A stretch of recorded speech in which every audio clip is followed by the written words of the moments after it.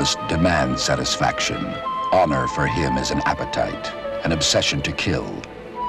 No apology is accepted, no quarter given. Only death will satisfy honor. Hello, everybody, and welcome back to another spoiler review with me, a Border Prince. Today, finally, we are talking about the Palatine Phoenix, which is the Fulgrim novel, which is part of the Primarch series, and it's book six, I believe, and it's by the mighty Josh Reynolds. So, where to begin? Um, I think I'll just explain the story roughly, and then we'll we'll go on to some of the things I really liked in this. And first off, I think this is probably this and Perturabo for me are the best of this series so far. The Corax one has just come out, so I'm going to get that soon, and that's by Guy Haley as well. So that should be should be a cracker. Should be a cracker.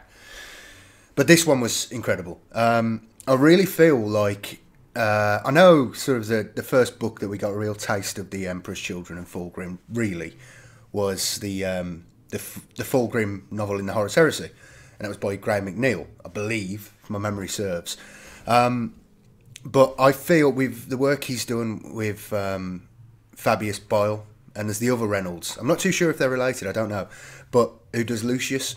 But um, yeah, what Josh Reynolds has achieved with the Emperor's Children, he, he is kind of Mr. Emperor's Children now. That's his baby. Um, they're stunning, and the work he's done here really sort of adds to that and sets the sets the scene. And you see the seeds of their corruption, of their pride, of their arrogance, of their of their their quest for perfection. Um, and it's really great. And the thing with Josh Reynolds I really like is I, I always get like flavors of things that I've read uh, sort of, so I think he's a very learned man, you know, history and philosophy and stuff like that. I mean, I don't know whether I'm just reading too much into it, um, but I feel like there's a lot of shit in there that it's all mingled together perfectly and just he really achieved something really great. And again, just like his work with um, Luke, Lukas the Trickster and the other novels he's done, um, there's a sense of comedy there. You know, there's a sense of humour there. There's jokes. You know, there's things that not just you're going, oh, that's awesome. You're like, that's awesomely funny it's brilliant. It's truly great. It's truly great. Um, before we go on, I'm keeping my coat on because it's a bit fucking chilly.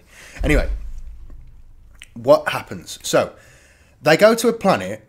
What's it called? But Barbados? I forgot what the fucking planet's called. This is a great review.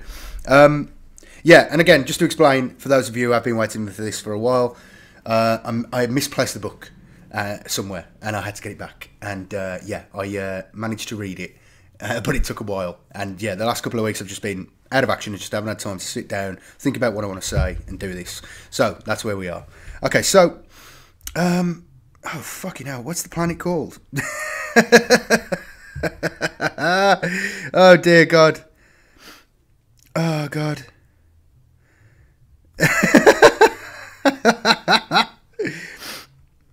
immediately, immediately, this is bad. This is so bad. Oh God. it's called, what's it called? Byzas. Byzas. Okay, so I'll go over the basic stuff and then we'll go over the awesome bits at the end. So the basic story is um, this is the Emperor's Children's with Fulgrim at the head. Their first move as a sort of Legion strength or close to Legion strength after they've rebuilt their numbers because the Emperor's Children, of course, went through a, a catastrophic incident and reduced their numbers down to 200 uh, Emperor's Children before Fulgrim was rediscovered on Chemos. And that's what we get into here. We get some nice bits about Chemos and uh, Fulgrim's backstory, which again, it's it's not as in depth as the Perturabo book, where we actually have him there in the moments. He's sort of reminiscing on things, but it's nice how it's all tied together. It's a good, it's good stuff. It's good stuff, and it has something that I think lack was lacking from the Ferrus Manus one. Um, where we get that sense of who they are and their struggles they've been through. And I think they really missed a beat with Ferrus Manus, as I think a lot of people are aware. You know, um, killing him so early. He's got all these mysteries around him. I mean, what the fuck's going on with his living metal? Come on, can we not just have this this tale told to us? Anyway, um, they go to Byzas. Now, Byzas is a planet which has survived Old Night uh, at a sort of moderately high level of technology um, comparatively to other things. It's not a hive city; they're just sort of a, a, civilization. I'd say comparable to to us, to Earth in the current day. Um, they have two ships. They have like uh, maybe two or three, I forget. Uh, sort of rackety old piece of shit battle cruisers, uh, transport ships in space. You know that have been left over from when they were at their height. Uh, and they use these ships to take prisoners and slaves and convicts to their moons to mine for minerals and stuff like that, uh, which act as penal colonies on the planet itself. And uh, this is what I like. He's really captured. Uh, he's got a pretty good grasp of politics, and there's things in this that you get on that. Um, and he tells it's it's brilliant how he's managed to tell this story of this society which is crumbling, and it's very reminiscent of life today. Um, there's a few quotes that I want to pull out. Uh, where is it? Where is it? Where is it? Where is it? Um,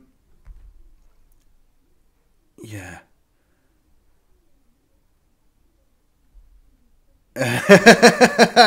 Again, fantastic planning by me. But if I don't do this, I'll never do it, and I've got to just I've got to do it. Um, yeah, um, it reminded me very much of sort of some of the political events that have occurred in our world at the moment. Um, it's very reminiscent of that, and I think it's again I cannot recommend this enough. This is if you like Perturabo, you'll love this, and if you like uh, the the Fabius Bile novels, you'll fucking love this. It is quality. So what happens is uh, Fulgrim decides to take uh, just a handful of Marines to the planet's surface, and we get a bunch of stuff about like the individual Marines there, some backstory from them, notable characters or would become notable characters uh, in the Horus Heresy going forward, and their sort of backstory and the sort of the tale of how it's it's it's a cutting wound within the Legion as it is at the moment for the original uh, 200, um, the original survivors of the Cataclysm the only Emperor's children because they weren't strong enough to be a legion like everybody else. They ended up getting attached to the Imperial Army to act as champions, which I think is a nice. You can see how that psychologically would affect them because then the ones who come up afterwards see these guys who are used to being the ultimate soldier in an engagement. You know, they've got that flair for leadership that has come from being, you know, a demigod leading a thousand men, humans with las rifles. They've they've got that. I can see how that would affect you, and it would affect the foundation of your legion. Um, obviously, Fulgrim, he's very much into perfection. He's very much from the start, you know, um, and we get here how they adopt that as a sort of mantra, as a philosophy, a guiding philosophy of their legion. And now this is their first engagement, so they land on the planet with a handful of guys, and Fulgrim's kind of he's trying to do it peacefully. That's his whole idea. He wants to. He can't make up for the the vast numbers of his brothers, but he can do it with flair and perfection. Uh, he can he can achieve a perfect compliance. So little cost in men, um, quickly, but with words or just with his own sort of political machinations, which he has some skill at, as we'll see, as you see in the novel. And um, basically, he they land on this planet. Now, the planet itself is a society, like I said, that's survived. They've sort of got a reasonable level of technology, but um, it's degrading. They're not building anything new. It's just sort of slowly crumbling away. They're maintaining what they've got. They have these flying Zephyr things, which are like not grav vehicles, but they're sort of floating. So uh, it's a, it's best to imagine them like um, fast moving air blimps, airships, and stuff like that, uh, which I think is a nice, it's a nice imagery. Um, so they land on the planet, and what's become of the planet is as uh, as as as the spider as the spider uh, mentions, it's it's fallen to cultural ennui, and they've become a society which is rampant with assassination attempts, rampant with uh, factionalism. Uh, you know, if you want to get all you know political, um, the state, the leadership of the state, has not got the uh, the grip on violence that it should have for any state to function. Um, so you get all these different spheres of influence and power, and they're all competing against each other. And the planetary governor has just about held on to power, but that's only because he's seen as a figurehead, and uh, no one else wants to take him out because they'll be the they'll be the person who who is the head of the pyramid, and they'll be the next for the chopping block. So it's like a unsteady a massive amount of violence is going on, a massive amount of assassinations, but there's a relative stability because no one wants to make that move because they know they're not strong enough to compete against the other areas of power, the other members of the nobility and the aristocracy. Um, he says it perfectly. Fabius says it perfectly. Here we go. Oh no, there we go. It's actually Fulgrim. He says uh, cultural ennui. Uh, they have become locked into a, malfun- a malfunctioning system, unable to escape its pull. We shall correct the system and simplify it in pro- in the process. And you know, this is that's that's fucking excellent. If you ever read, if you keep up with politics and stuff like this, and you sort of have a a view of the world, um, you keep up to date with things. I can see this sort of mirrored in the real world. I guess without getting too deep into it, it's it's beautiful. It's truly beautiful. Um, the history of this planet is there was once a, a global government of the several of nations, and um, what happened was uh, there was a global war. Uh, eventually, this global government uh, broke down, and um, the one Boisas is it boys ask themselves? I forget. it's been three weeks since I finished reading this, lads. I apologise. The one nation was glassed uh, by the by both of the other two, and then eventually the the main nation that's left now um, uh, conquered and oh no no no they, yeah by doing that they forced the other ones to surrender or suffer the same fate and turn them into a slave or hell- helot nation uh, and basically turn their entire nation into farmland um, agriculture and in this glassed area which is a nice little touch what we'll get to in a bit there's the only people there are uh, some mutant people who well i'll tell you about it now i immediately thought okay well so they go to the planet and one of the things i Oh God, I've got to get this balanced in my mind. Okay, so that's the situation on the planet, right? That's the situation on the planet. Now, Fulgrim wants to get the planet into compliance, so he tells them all kinds of bullshit about, um, you know, fairness and equality. We're going to bring the Imperium here. Your lives are going to improve. It's going to be fantastic. I like equality too. I mean, I'm not actually saying you're going to get that, but I like the idea of that. We have noble aspirations for the species and I've also got a battle cruiser in orbit, and I could kill you all very, very quickly. And it uh, and it basically progresses like that. There's a lot of sort of internal politicking. Um, we have an amazing character, Remembrancer. Is it Remembrancer? No, she uh, a woman called Pike, who is a representative. She's old European aristocracy, and she's a fucking bitch, and it's great. It's perfect. She sounds like an amazing woman, and exactly the kind of woman you would need in that situation. Um, she's got a little band of assassins it's fucking great. It's really quality. Um, so they end up in this part of the culture of Boisas is the duel, and this comes into the story later on because there was um what you I suppose what you would call like um, a, an order of not necessarily knights but duelists who were sort of Robin Hood figures on the planet, and at one time they were a real threat they grew to such a threat. Um, they wanted to topple the existing order of the aristocracy and replace it with, um, you know, democracy, uh, freedom for all, equality, uh, redistribution of wealth, you know, a perfect world. They wanted to build a utopia. Unfortunately, the elites didn't like this and took them out. Um, but it spread quite rapidly throughout the population. But after they were wiped out, um, they sort of survived, but in a very small amount, uh, very small numbers, and sort of retreated to the peripheries. And belief in their ideals became a sort of tokenistic, sort of superstitious faith um, of a fist, uh, a black hand, if you will.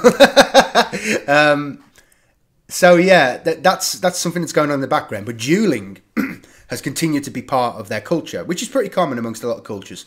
Uh, at least you know up until the last like hundred years.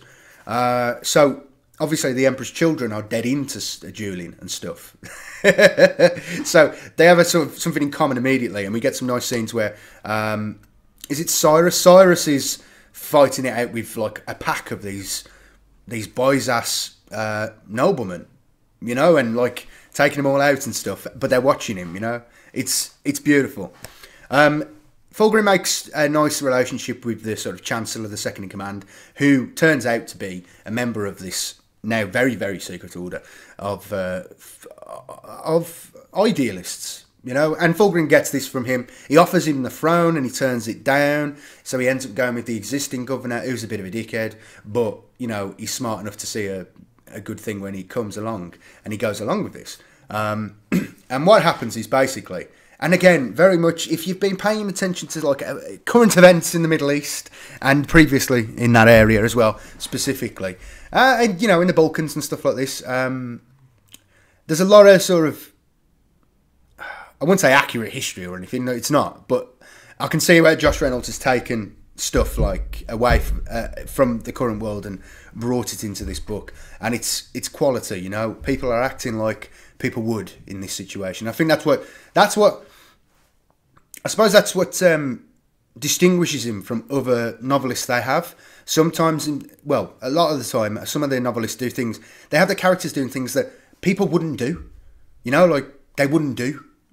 it's like ridiculous. You know. Um, here he has people you can understand the rationale of why they're doing them and that's what i think distinguishes josh reynolds from a lot of the authors he's got a, a real grasp on human nature uh, and psychology and stuff really he has genuinely um, everything makes sense from the point of view of the person. They're not doing something out of the ordinary. You know like that doesn't make sense to their character and their rationale. And i love that. It's brilliant. So they progress in this way. Um, one of the things that um, obviously Fulgrim wants is a recruitment world. So he sets Fabius Bile, and we get a lot of stuff about the the disgust, the antipathy that the other Emperor's children have for Fabius. They call him the Spider and so on. Um, and Fabius knows this, and he don't give a shit. And he's like, "Well, I did what I needed to do." And of course, later on, we see it's nice to see that. Obviously, Sorry, I'm just burping. I only just got back in. I had dinner out. Anyway, Fabi, uh, having written the Fabius Bile books, I can see that he's really sort of he's, he's, he's building that that link to current day Fabius, if you will, and this Fabius before everything happens. And he's the same man. You know, he's the last sane man in the universe still. well, even then. Um, so yeah, they go on about it. There's a lot of stuff about like they, they keep trying to get poisoned every time they go to a public event. They put their wine's poisoned like ten times. Like, there's more poison in it than wine at this point. You know, it's brilliant. Um, where's that gone? There was a lovely little moment that I want to just go over. Um,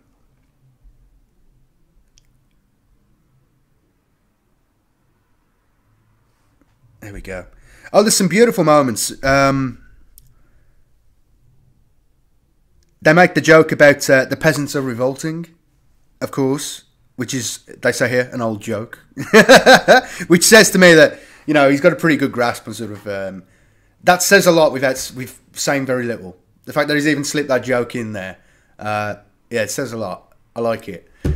Right, so with um, Fabius going around testing this population for, uh, you know, whether they can, taking their DNA samples uh, to see whether they be good recruits, good source of aspirants for the Legion as he uh, Fulgrim attempts to build it stronger. Um, he comes across these rad people in the deserts who are the one Emperor's Children guy. I forget who what his name was. Was it Kasparos? It might have been Kasparos, but he's disgusted by these people, these rats, these these mutants. Um, but Fabius is like, no, no, no, no, no. Look at it in the wrong way.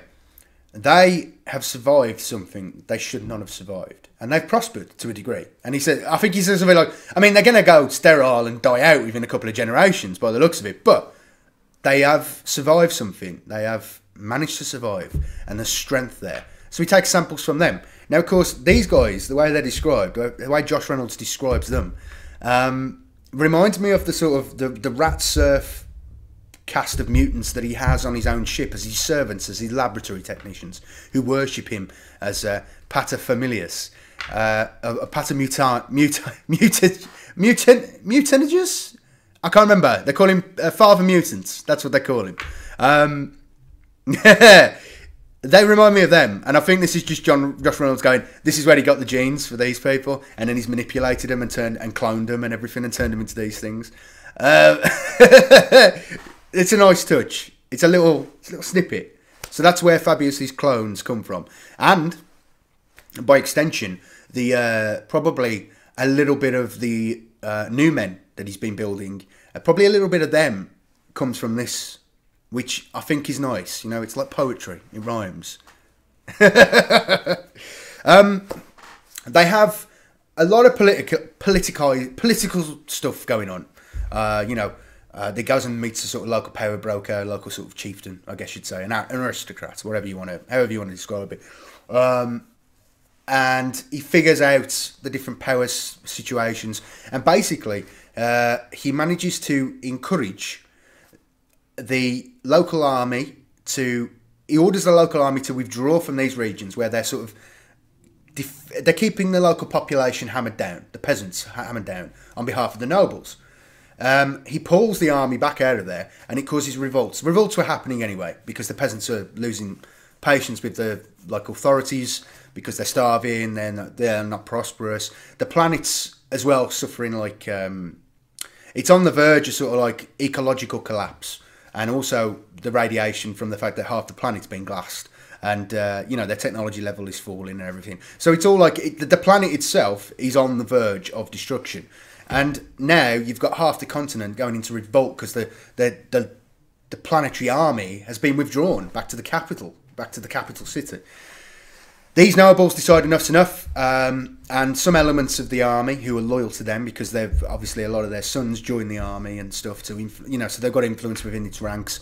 Um, so for Fulgrim, it weeds out the disloyal elements. Um, some of the army units, again, it's nice. It shows he knows what's going on in the world. You know, local army unit will take control of a certain area, you know, for themselves uh, and stuff like that, and hole up and see what happens. Uh, I'm not saying anything, but you know, in certain nations, this does happen. Uh, you, and they all pull back. So then it forces the nobles to rebel um, thinking that you know Fulgrim's there. They don't believe him that he's got this battle cruiser and this vast army. He's landed there with like you know a handful of guys. Um, you know, and they want to take it, and they don't have any respect for the planetary governor anyway. So they're just banding together to take these invaders out and set themselves free from this future tyranny that they're being signed up for with joining the Imperium, which they see as. And Fulgrim says, you know, um, he kind of says it as if it's going to be great. He says, We're going to get rid of this. We're going to change this system. This can't work. This is not going to work any longer. We've got to improve things for everybody. This planet's going to be a prosperous member of the Imperium of Man. But, but, um, what he later comes to say is, uh, well, you're just going to be compliant and you're going to serve, and that's it. you know, compliance is what compliance is and it's it's beautiful and it's nice how he plays people. It's nice how he uses he plays people's emotions. Um, we get moments where the spectacle of him as this god, and he knows this. He, he uses it to his advantage.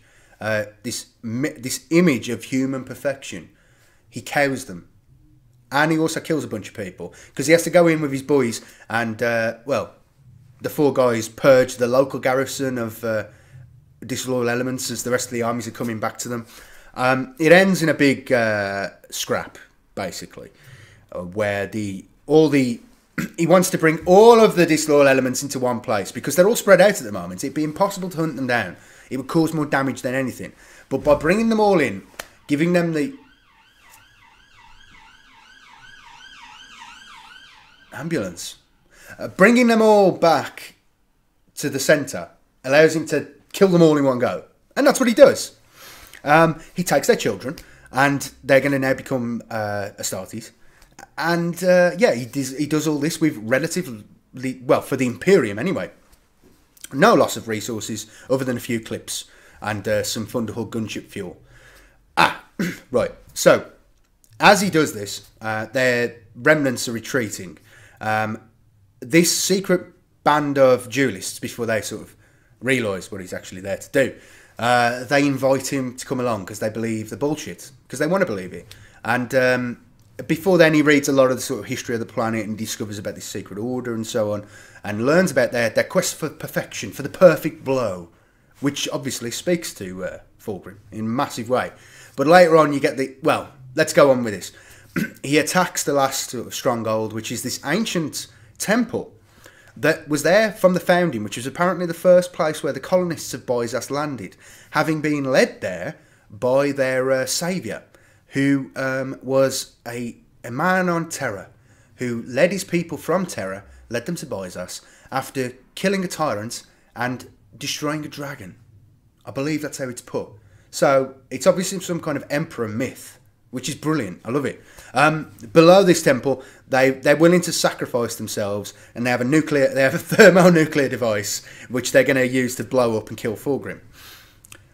Fulgrim uh, realizes he's been trapped, he's been tricked. He was a little bit too arrogant, a little bit too brash in this situation. He didn't think they'd do this, uh, so he fights his way through to these guys. Anyway, this this this old nuke is ticking down, and he ends it by he's like, "Oh, if Ferrus was here, he'd be able to sort this." Oh, Jesus, what am I doing? Um, he just stabs it and manages to stop it somehow.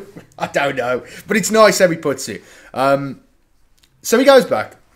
He has a final confrontation with this Chancellor bloke, who's the sort of leader of the this duelist organisation, this secret society that wants to reshape the world, and um, in their image. And uh, he has a scrap with him. Um, the thing is, he's pissed off and furious. He's furious because the guy decides to let him kill him. He doesn't fight it, um, and he has to kill him. But Fulgrim knows that by doing this, he's made this guy a martyr. And that's not what he wanted. He wanted him to have a final showdown with the leader of the enemy and be a big triumphant thing. But this guy gets to his knees and bows his head. And it spoils the, the victory for Fulgrim. It spoils the the ideal of victory, the perfect victory that he wanted, because it's made it. He's killed a, an idealist here. Um, you know, this man wasn't fighting for personal power. He wasn't a member of the aristocracy. He's a noble man who wanted to change the world for the better of his people. But then Fulgrim's just going to have to execute him, which he doesn't like. You know, it's like he's, he's, he's embraced the imperial truth, the plan of the emperor. Um, you know, it is the only way. It is the only way. But it leaves a bad taste in the mouth. And, you know, for someone like Fulgrim, so needful to prove himself, to show his perfection, um, this sours it for him. Even though no one else is probably going to know about it, he knows that he's done something fucked up here. Uh, you know, his moral compass, he's allowed his moral compass to become completely knocked out of sync. And, uh, and he's going to be celebrated for this. So I like it. It's it's deep. It's interesting. It's fun. Now, some of the amazing things. Um, there's jokes in this. All right, so so yeah, they, their planet becomes compliant and blah blah blah, and a lot of the guys from there uh, become Emperor's children going forward. Right. So we get a lot about uh, Fulgrim's time on Deimos. Fulgrim was married. Right? That's the big thing. So Fulgrim was fucking, uh, by implication. Um, we get the sort of sort of roughly backstory of how he rose to power. Uh, he was taken in by a sort of peasant uh, worker. It, was a factory world. It was run by um, the executive clans, which I think is beautiful. It's beautiful again what Full, uh, Josh Reynolds has done here. He's created this world which is clearly some kind of corporate colony that was cut off during the Dark Age and adapted to the situation. And by the time Fulgrim's born, it's falling apart. The machines are breaking down and so on. But still, it's it's got that remnant of its initial founding. The rulers are the executives in the executive clans, ruling over the people, and they have their enforcers. There's police with tear gas and stuff like that. It's it's beautiful what he's done, and I would love to see a more in-depth story of Fulgrim. And I don't understand why they haven't done this. I don't understand. I mean, I know there's like leaving the mystery there, and maybe they will once the Horus Heresy is out the way. It's a sort of, I suppose that's a quick fix on books you can do. Um, you know, uh, just do an in-depth Horus, in-depth Primarch books, maybe one or two on them in particular. You know, them prior to um, the heresy and stuff. So I can see why they might be holding back on that and just giving you this snippet now because it's all about the Wonga. Um, and speaking of that, if you want to pick up this book, use the links below. Um, it's not on Audible though for some reason, but there's still loads of great books on Audible, so use the link below and get a free subscription. But uh, you can get it from the Black Library website, the actual audio. Um, but for some reason, it's not on Audible. It's really fucking annoying because I had to read this, and normally something like this, um, I'd listen to it because I know it'd be really good quality audio. Uh, but th- it isn't on there. It's the only one that isn't on there. I don't understand what the fuck. Why? Why? Why have you made my life more difficult? oh, what was I saying? Yeah, so Chemos is this. It's a brilliant tale that hasn't been told yet, and we've just got these snippets. Uh, we hear about his parents. Um, again, just sort of low down people. Um, yeah, it's it's glorious. It's glorious. The stuff about them before he came. Now, there's some more stuff about the assassination attempt on the Emperor when someone tried to use a nuclear bomb to kill the Emperor. Now, we've heard this in a few Horus Heresy books from way back. You know, like the Dark Angels one, had, a, it had a recounting of that. It's been in something else as well, but the Emperor's children played an instrumental part in saving the Emperor's life in this. Um, and it was before Fulgrim was there. Uh, there's all sorts of stuff. There's his regret about not being with his sons when they needed him most. There's a bunch of stuff about Fabius Bile and him talking um, about, like, you know, the, the problem with the gene seed and so on and uh, the corruption that they have. And he only managed to just about stave it off. And that's why Fulgrim gives him, he lets Fabius off a lot that he wouldn't let anyone else off. And, you know,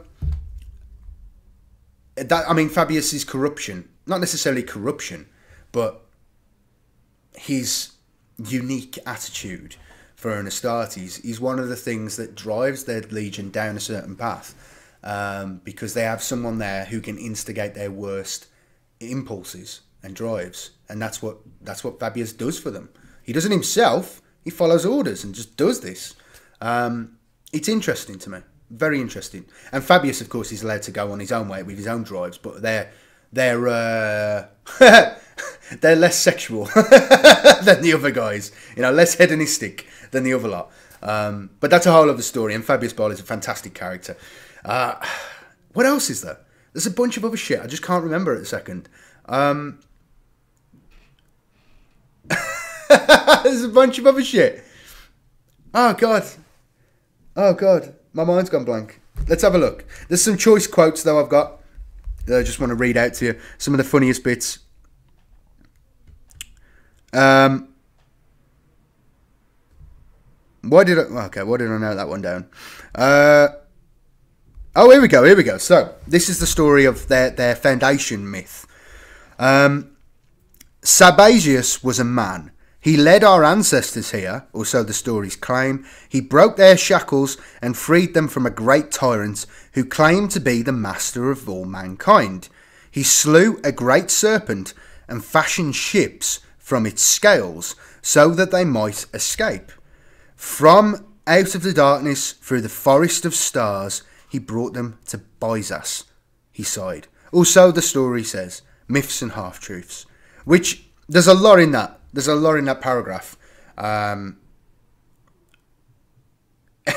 as the presentation of a myth, it's brilliant. Knowing what we know about other stuff with the Void Dragon and the Emperor's Ascension and the time when there were great tyrants, psyker, super powerful psykers who ruled over humanity, you know, and the story of the Sigillites and stuff. It's brilliant. It's brilliant. Um, here we go. Yeah. So there's a bunch of stuff about perfection uh, and this this order of duelists Fulgrim takes that ideology, that philosophy, that martial philosophy, and uses it as a foundation to the forming of the new legion as it builds up. And this is the thing as well, they've got a bit of a chip on their shoulder because um, this is the first time they've gone out. Before then, they were attached to Horus. Uh, they supported Horus uh, and the and Horus and the Lunar Wolves in their campaigns um, because they weren't strong enough to be a fully fledged force. And again, the original 200 have grown used to being on their own. They've got their own flair. Uh, they've got their own attitude to things. They've had their own experiences because they've been fighting and leading in their own right for centuries in some well dozens of years, decades, maybe even hundreds of years. I don't know. Um, oh, Proxima as well. Sorry, I'm just looking at something. It's the it's the the Proxima situation or something like that where they try and kill the Emperor. some planet does, and they almost succeed uh, if it wasn't for the Emperor's Children. Yeah, quality. There's so much bits in this. It is fantastic and definitely worth reading. Um, there was another bit. You know, the ideals of the Brotherhood were compatible with those you insist the Imperium of yours espouses. uh, Okay, I'm not going to get too deep into that because that's too big a discussion. And I, yeah, I can't do it. um, we get some amazing uh, combat, beautiful combat, big battle. Um, here we go. This is Pike to Fulgrim, and this is a message you should have taken in from what happens later. The search for perfection is a subtle drug, she read. It draws the mind along circuitous routes, deeper and deeper into itself, until nothing can be seen except the ideal. Desire blinds one to purpose, and thus renders true perfection impossible. Now that's some deep shit right there. That is some deep shit, and I'm sure I've read something similar somewhere. I can't remember where, but I think that captures the sort of. Um, I want to say dichotomy, but I'm not too sure that's the right word. but the trap that the Emperor's Children fall into, the trap that Fulgrim falls into, and the trap that many people do fall into, the, the pursuit of perfection, and it blinds them to the truth because they think they're on the right track. And, you know, I think that's that's where I'm going to end this because that's a fairly little deep, shitty thing to say. Thank you very much for watching. I hope you have enjoyed this. I would again say, I'd say this is probably number one. Um, number one at the minute for me is shared by this and the Perturabo novel. They are two of the best ones so far out of the six, and uh, I cannot recommend this enough. It is quality, um, and if you've enjoyed Josh Reynolds before, you'll love this, and if you've enjoyed the Fabius Bile novels, you will love this. It's all it's like a companion piece. Um, yeah, fantastic read, fantastic read. I'm just sorry it took so long, and uh, yeah, fantastic. That's all I've got to say on the matter. All right. I'm going to go now. I will see you later. We'll be back again with another review soon. Um, a slightly shorter one because I've listened to a bunch of audiobooks recently uh, just to catch up on stuff that I'm never going to get around to reading if I don't. So, yeah, they've been my uh, work travel stuff. And, yeah, let's be honest, while I'm sat at work, I've just been listening to this. So, yeah. More stuff is coming soon. Um, I am currently reading. I don't know why I picked up my car keys. I'm currently reading uh, Anarch. Um, it's over there. Uh, by the amazing Dan Abnett, which is the latest and I think probably the last for a while Gaunt's Ghost novel we're going to get. And uh, it's shaping up to be quite. I don't know. I was a bit bored at the start, but then stuff's ramped up. It's gone into high gear and it's pretty good. There's lots of murdering. So, yeah. Get this and enjoy it. It is it's it's beautiful. It's fantastic, and it's full of so much lore and so much. Oh, it's brilliant. All right, I'm gonna go. Thank you very much for watching. Uh, if you want to help me out, use the links below. Otherwise, please give this a like and uh, remember to subscribe if you're not subscribed. All right, see you later. Cheers.